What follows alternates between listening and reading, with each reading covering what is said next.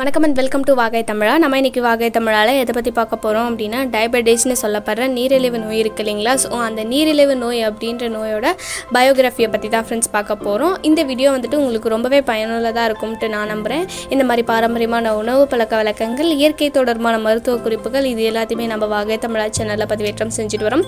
நம்ம சேனலுக்கு இதான் ஃபர்ஸ்ட் டைம் வரீங்க அப்படின்னா மறக்காம சேனலில் சப்ஸ்கிரைப் பண்ணுங்கள் சப்ஸ்கிரைப் பண்ணால் மட்டும் பார்த்தாது கூட இருக்க பெல் ஐக்கானை கிளிக் பண்ணிங்க அப்படின்னா தான் நான் இந்த மாதிரி அப்டேட் பண்ணுற வீடியோஸ் உங்களுக்கு நோட்டிஃபிகேஷனாக வரும்.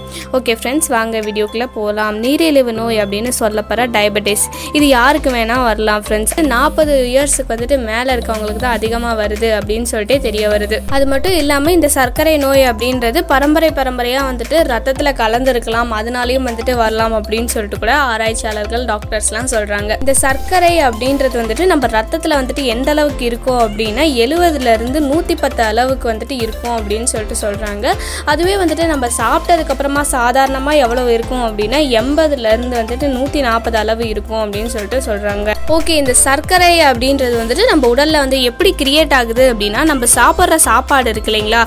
ஸோ நம்ம சாப்பிட்ற சாப்பாட்டுலேருந்து நம்ம உடம்புக்கு தேவையான கலோரிஸ்லாம் கிடைக்குது. ஸோ ஆஸ் யூஷுவல் வந்துட்டு இது எல்லாருக்குமே தெரிஞ்ச ஒன்று தான் அந்த கலோரிஸ்லாம் வந்துட்டு நம்ம ரத்தத்தில் இருக்க செல்ஸுக்கு கொண்டு போகிறது என்ன அப்படின்னா இன்சுலின் அப்படின்ற ஒரு ஹார்மோன் தான் கொண்டுட்டு போயிட்டுருக்கு அந்த இன்சுலின் அப்படின்ற ஹார்மோன் எங்கே கிரியேட் ஆகும் அப்படின்னு அப்படின்னா நம்ம உடலில் வயிற்று பகுதியில் இருக்க கணையத்தில் தான் வந்துட்டு கிரியேட் ஆகும் அப்படின்னு சொல்லிட்டு சொல்கிறாங்க ஸோ அந்த இன்சுலின் அப்படின்றது அதிகமாக வந்துட்டு கிரியேட் ஆனாலும் நம்ம உடலுக்கு பாதிப்பு தான் கம்மியாக கிரியேட் ஆனாலும் வந்துட்டு நம்ம உடலுக்கு பாதிப்பு தான் ஸோ அந்த மாதிரி எல்லாம் கிரியேட் ஆகிற இன்சுலின் அப்படின்றது வந்துட்டு கரெக்டாக நம்ம செல்ஸுக்கு அதாவது வந்துட்டு உடம்புல இருக்க ரத்த செல்ஸுக்கு வந்துட்டு அந்த கலோரிஸ் எல்லாத்தையும் கொண்டுட்டு போயிட்டு சேர்க்குது. அந்த கலோரிஸ்லாம் வந்துட்டு கொண்டுட்டு போய் சேர்க்காத அந்த நிலையில தான் நம்மளுக்கு வந்துட்டு சர்க்கரை நோய் அப்படின்ற ஒன்று நம்ம உடலில் ஸ்டார்ட் ஆகுது. அதனால தான் வந்துட்டு சர்க்கரை நோய் இருக்கவங்க ரொம்ப ஒரு மாதிரி டயர்டாக இருக்க மாதிரி இருப்பாங்க.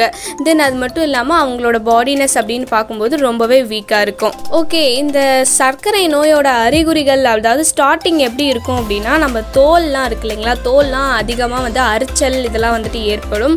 அது மட்டும் இல்லை தோல் சம்பந்தமான வியாதிகள் இதெல்லாம் வந்துட்டு அதிகமாக வரும் அப்படின்னு சொல்லிட்டு தெரிய வருது.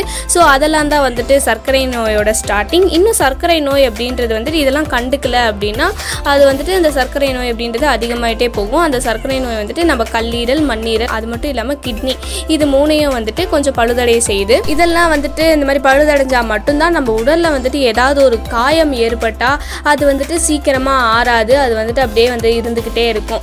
ஸோ இந்த மாதிரிலாம் தான் வந்துட்டு சர்க்கரை நோயோட ஸ்டார்டிங் ஸ்டேஜ் அப்படின்னு சொல்லிட்டு சொல்லலாம். ஸோ இந்த ஸ்டார்டிங் ஸ்டேஜை வந்துட்டு நம்ம கவனிக்காமல் விட்டோம். அது வந்துட்டு அப்படியே விட்டுட்டோம் அப்படின்னா அந்த சர்க்கரை நோய் அப்படின்றது வந்துட்டு நம்ம உடம்பு ஃபுல்லாக வந்துட்டு பரவி அது வந்து வந்துட்டு நம்ம மரணப்படுக்கை கூட கொண்டுட்டு போகுது அப்படின்னு சொல்லிட்டு சொல்லலாம். அப்படிப்பட்ட இந்த சர்க்கரை நோயை வந்துட்டு எப்படி க்யூர் பண்ணலாம்? நிறையா ஹாஸ்பிட்டல் போகலாமா நிறையா வந்துட்டு அதுக்கு வந்துட்டு காஸ்ட்டு செலவு பண்ணலாமா?